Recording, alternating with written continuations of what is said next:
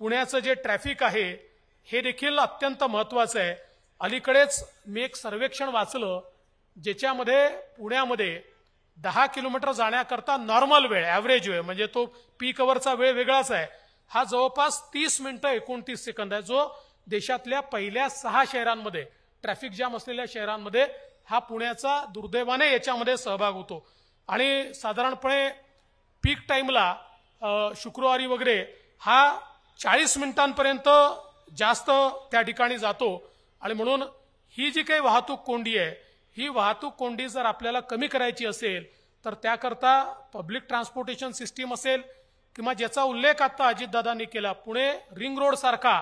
Ring road हा पुण्याच्या वाहतुकीला त्या ठिकाणी निश्चितपणे ईज करू शकतो.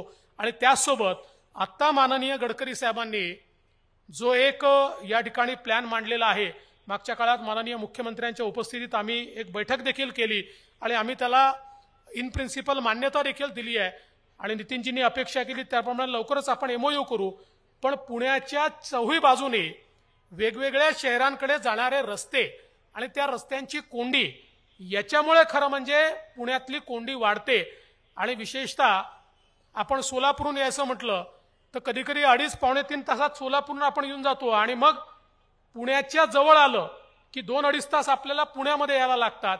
त्यामुळे अशी सगळी कोंडी दूर करण्याकरता त्या ठिकाणी डबल डेकर फ्लायओव्हर तयार करून आणि नुसते फ्लायओव्हर नाही तर एलिव्हेटेड रस्ते तयार करून त्या रस्त्याच्या माध्यमातून ही कोंडी पूर्णपणे संपवायची अशा प्रकारचा एक अतिशय चांगला प्लॅन माननीय गडकरी साहेबांनी या ठिकाणी तयार केलाय आणि राज्य सरकारच्या वतीनं आम्ही देखील त्यांना आश्वस्त करू इच्छितो की हा प्लॅन इम्प्लिमेंट करण्याकरता राज्य सरकारचा जो काही सहभाग याच्यामध्ये अपेक्षित आहे तो राज्य सरकार निश्चितपणे करेल जेणेकरून येत्या काळामध्ये वाहतुकीची कोंडी नसलेलं शहर अशा प्रकारे पुण्याकडे आपल्याला पाहता येईल. आणि मला विश्वास आहे ज्या वेगानं आपण काम करतो आहोत त्या वेगामुळे हे सहज शक्य होईल.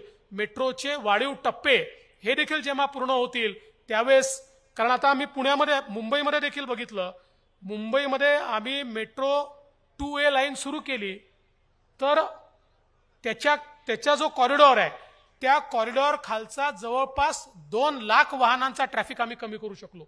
तिथली वाहतुकीची कोंडी आम्ही संपवू शकलो. त्यामुळे मोठ्या प्रमाणात ही वाहतुकीची कोंडी संपवण्याचं काम हे या ठिकाणी होणार आहे.